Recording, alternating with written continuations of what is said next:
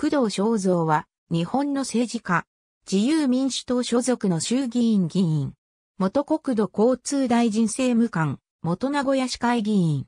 父は、愛知県議会議員、名古屋市会議長を務めた工藤康弘。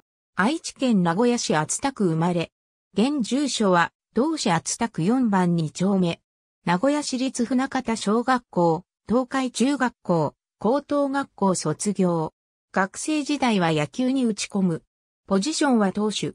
1年浪人して、中央大学小学部会計学科に入学。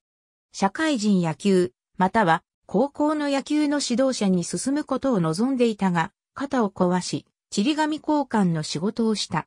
同校を8年かけて卒業した。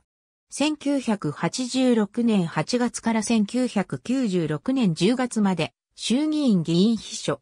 1992年12月から1993年7月まで衆議院議員の片岡武氏の秘書。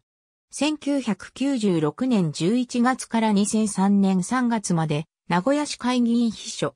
2003年4月、名古屋市会議員選挙の厚田区選挙区で初当選。2007年、再選。2012年、第46回衆議院議員総選挙で愛知4区に自由民主党公認で立候補し、前職で日本未来の党の牧義夫2万2202票差で破り、初当選した。2014年第47回衆議院議員総選挙で再選。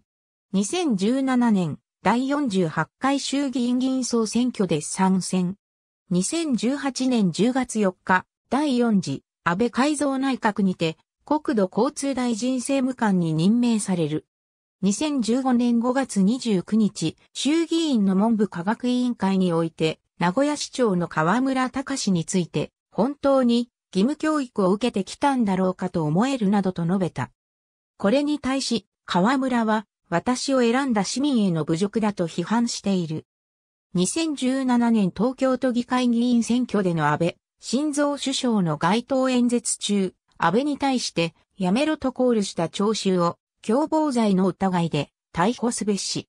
と求める Facebook の投稿に対し、いいね。ボタンを押していた。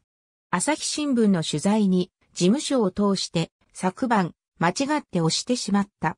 今後は気をつけていきたい。取材後、いいね。を取り消した。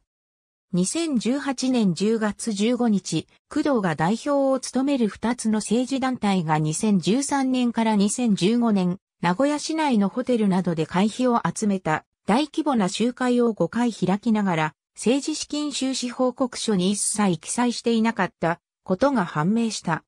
2団体は、名古屋市が拠点の資金管理団体、アキラ友会と自民党愛知県第4選挙区支部。ありがとうございます。